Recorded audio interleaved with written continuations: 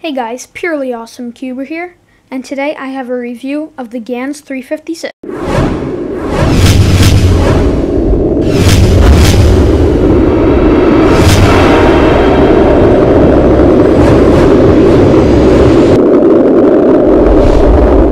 So I purchased this puzzle from thecubicle.us for about $23. It's fairly expensive for a 3x3, so let's see if it's worth it. I have an um, unboxing video, so there's a link in the description. Uh, go check that out if you haven't seen that for my first impressions of this. And uh, let's get on with the review. So first off, let's start with the sticker shades. They're the standard uh, GAN sticker shades, which are similar to the Dayan, and they're not very bright.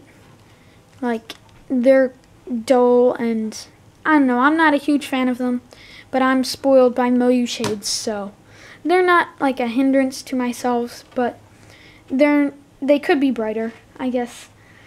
And before I start this, like with turning and everything, I want to say I haven't lubed this. Uh, as I've said in some previous reviews, I I'm not going to be lubing, lubing my cubes before I review them because lube can make a puzzle turn totally differently and make it seem like a totally different puzzle than when you got it. And I just feel like that's not reviewing the actual cube anymore. So I'm not going to lube them before I review them. But let's get on with the actual review. So first of all, this is 56 millimeters as the name says. And other than that, the stats, other than the price, are pretty good. The stickers are good quality, while the shades aren't the best. And yeah, so the turning of this puzzle is probably, I wouldn't say it's the smoothest I've ever felt, but it stays smooth. Like, when you're turning it, it's incredibly smooth. It feels a little tiny bit rough, but there's like no bumps. It's just smooth. It doesn't completely glide along, but it's very smooth. Um, and turning it faster,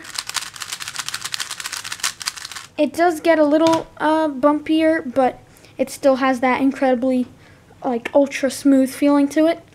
So I really like the turning of this puzzle. Um, for me, it's incredibly smooth. I don't know how many times I've said that now, but it's very smooth. Um, as for corner cutting and fluidity and stuff, regular corner cutting's 45. Um, doesn't take any effort. And over has a little bit of trouble, but people have said it goes crazy over. So um, it might just be my tensions. I do have it a little tight, but it corner cuts as much as I need. One piece is just so easy, like you don't even notice it. And now for reverse cutting. It can do about there with no effort. This is the best reverse cutting I've ever seen.